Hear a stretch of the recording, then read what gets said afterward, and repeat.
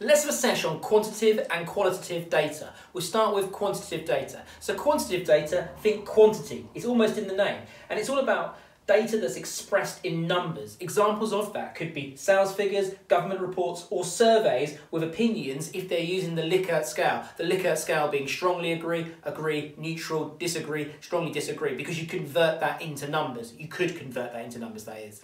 Now, the pros of quantitative data. It's easier to gather, it's quicker to gather, it's faster to analyse, you can examine larger samples, and also you can do statistical analysis. You could do averages, you could do standard deviation on this data because it's in numbers. And the key thing is it's easier to make decisions from. Now, the cons of using quantitative data. It tends to have a narrow or closed question focus. And so for that reason, it's focusing on the who, the what, the when, not the why and the how. And because it's not focused on the why and the how, it's unhelpful if you want to understand the issue in depth. The other type of data is qualitative data. Now, qualitative data, think because it's expressed often in words. Um, types of Ways that you could do qualitative data is through interviews, focus groups, or observations.